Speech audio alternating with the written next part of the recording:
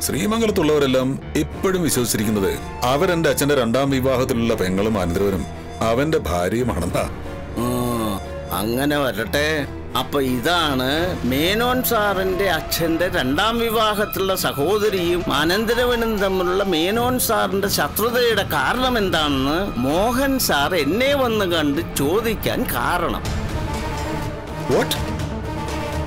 മോഹൻ വാസുവണ്ണനെ വന്നു കണ്ട് മഹേശ്വരിയും മഹിയും കുറിച്ച് ചോദിച്ചു അതെ.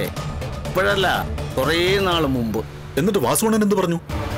ഞാൻ പറഞ്ഞു അങ്ങനെ മേനോൻ സാറിന്റെ അച്ഛന് ഒരു വിവാഹം ഉണ്ടായിട്ടില്ലെന്നും മേനോൻ സാറിന്റെ അച്ഛന്റെ ആദ്യ വിവാഹത്തിൽ ഉണ്ടായത് രണ്ട് ആൺകുട്ടികളാണെന്നും ആ വിവാഹബന്ധം നിയമപരമായി വേർപെടുത്തിയതിനു ശേഷം രണ്ടാമത് വിവാഹം ചെയ്തതിൽ ഒരേ ഒരു മകനേ ഉള്ളൂ എന്നും അതാണ് സാക്ഷാൽ വിശ്വനാഥ മേനോനെന്നും അതിനുശേഷം ഒരു സന്യാസ ജീവിതം പോലെയായിരുന്നു മേനോൻ സാറിന്റെ അച്ഛനെന്നും ഒക്കെ സത്യം സത്യമായിട്ട് ഞാൻ പറഞ്ഞു.